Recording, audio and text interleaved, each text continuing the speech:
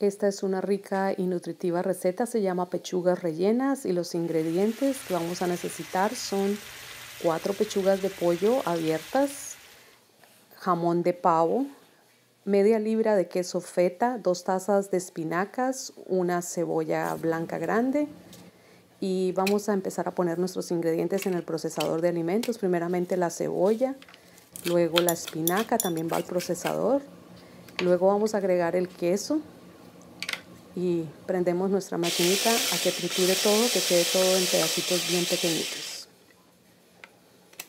Revisamos cómo está la textura, le vamos a agregar entonces el resto del queso y vamos a moler nuevamente.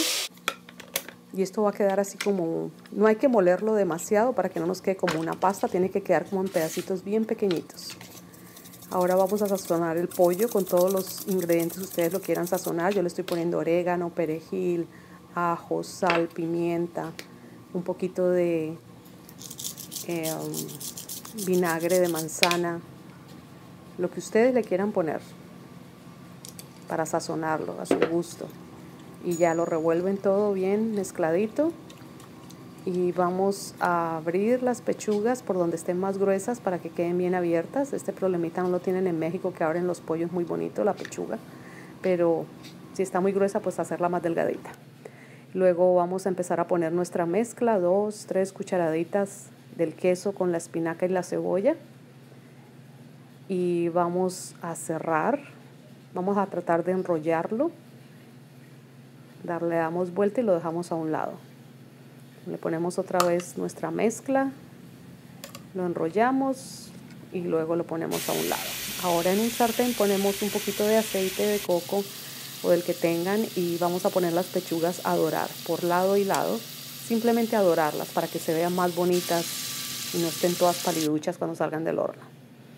Luego cuando las sacamos del sartén las dejamos enfriar y vamos a cubrirlas con una tajada de, de jamón de pavo una arriba, una abajo, un palillo en el medio.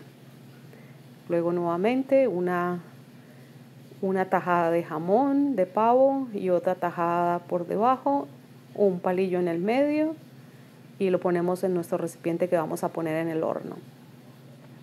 En el horno solamente van a estar por como 20 minutos máximo, porque ya al freírlas un poquito no es mucho lo que queda para cocinar. 15 minutos, 20 ustedes la checan aproximadamente a 325 grados y ya después están rapidito porque como les digo ya las medio freímos entonces no es mucho lo que le falta al pollo para cocinarse.